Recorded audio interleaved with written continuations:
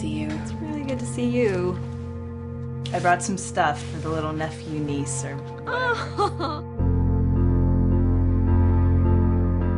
death in absentia. Once you declare someone dead, it's a different deal. I'm here to help you file that paperwork. It's time, right?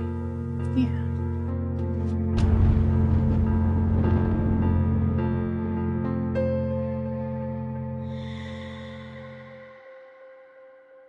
Danny?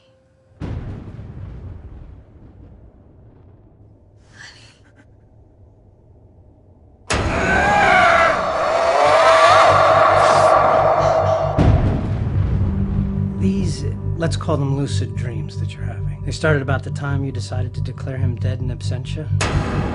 You're describing visual, auditory, even tactile hallucinations. He's not the only one, not even close. They declared Walter dead in 2002. I ran into him just last week. You see me? Left behind a son who says his dad was taken away by a monster. It's sleeping.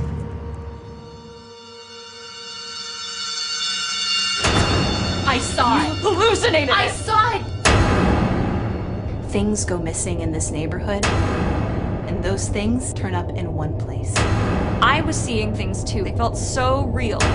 We found a body in the tunnel. Oh my god. You see your eyes? We're gonna need to question you a lot more. I swear to you, I could hear him in the walls.